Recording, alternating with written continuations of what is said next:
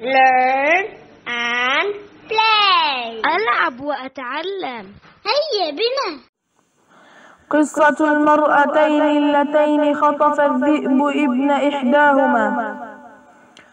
عن أبي هريرة رضي الله عنه أن رسول الله صلى الله عليه وسلم قال كانت امرأتان معهما ابناهما. جاء الذئب فذهب بابن إحداهما فقالت لصاحبتها إنما ذهب بابنك. وقالت الأخرى إنما ذهب بابنك. فتحاكمتا إلى داود عليه السلام فقضى به للكبرى. فخرجتا على سليمان بن داود عليه السلام.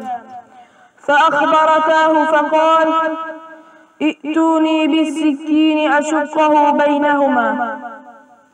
فقالت الصغرى لا تفعل يرحمك الله هو ابنها فقضى به للصغرى.